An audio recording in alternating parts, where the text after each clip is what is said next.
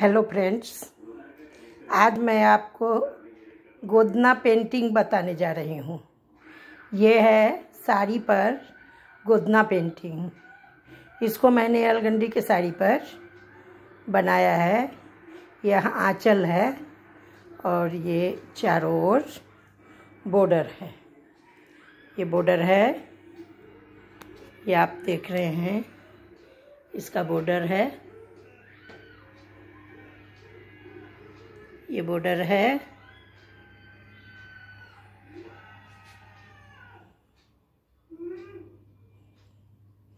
इसको पेंट करने के लिए हम किसी भी स्टेशनरी के दुकान से पेंट खरीदेंगे।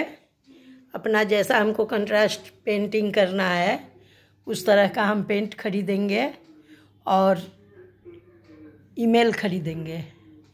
पेंट को हल्का पतला करने के लिए ईमेल खरीदेंगे और उसका प्लेट पिकता रहता है, वो हम खरीद लेंगे।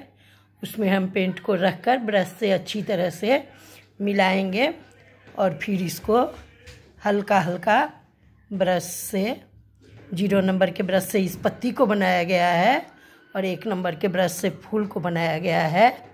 इस तरह से हम इसको पेंट करेंगे। यह गोदना पेंटिंग है। इसको हम इसलिए आपको आराम से दिखला रहे हैं तो आपको इसके उतारने में कोई ज़्यादा परेशानी न हो। इसके लिए इसको पहले आप पेंसिल के सहारे इसको बना सकती हैं और बनाकर भी इसको रंग सकती हैं। इसलिए हम इसको आपको साफ़ साफ़ दिखा रहे हैं। इस तरह से यह बना हुआ है। गोदना पेंटिंग इसको कहते हैं। इसके बाद आपको हम अगले दिन मधुबनी पेंटिंग दिखलाएँगे।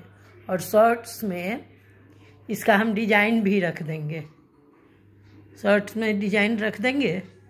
उस डिज़ाइन में से आप बना लीजिएगा। हेलो फ्रेंड तो यह अगर आपको पसंद आए तो आप इसको लाइक कमेंट्स करिएगा, जिसके, जिससे हमको और भी पेंटिंग देने में सुविधा हो। हम आपको sofa cover, cushion cover, sari, salwar suit, सबका पेंटिंग हम आपको दिखलाएँगे। धन्यवाद।